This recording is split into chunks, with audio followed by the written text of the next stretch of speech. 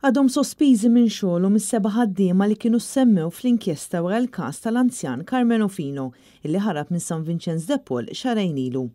Erba' uffiċjali tas-sigurtà, żewġ carers u infermier li huma kollha Maltin kienu sospiżi wara li kien ippubblikat ir-rapport tal-inkjesta li saret mill-Maġistrat Valencia. Inkjesta li kellha kritika kbira mill-union tal-infermiera u l-qwiebel tant li l-President Paul Pace talab illi terġa' ssir investigazzjoni serja. L-inkjesta kienet ikkonkludiet li dawn il-ħaddiema li kienu xogħol dakinhar li ħarab Karmenu Fino naqsu milli jipproteġu lill-anzjan u ħallewh joħroġ mir-residenza ta' San Vinċenz de Paul. Iktar kmieni din il-ġimgħa tkellem għall-ewwel darba l-infermier li ġie sospiż, Rees Xuereb, illi stqarr li nsab diskustat li l-inkjesta tefgħet it-tort kollu fuqu sabiex jiġi aġevolat il-Ministru responsabbli. Dan hekk kif sal-lum il-Ministru Jotjen Abela għadu ma ġarr ebda responsabilità għal dak li seħħ.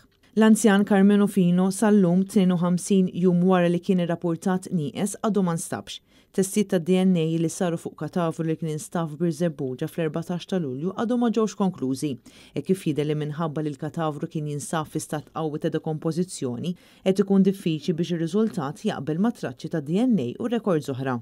Persuni li tkellmu ma' Net News qalu li dawn is-seba' ħaddiema ta' San Vinċenz de Paul se jibqgħu sospiżi sakemm il-Pulizija jikkonkludu l-investigazzjonijiet u sakemm ikun determinat jekk hux se jittieħdu passi kriminali fil-konfront tagħhom.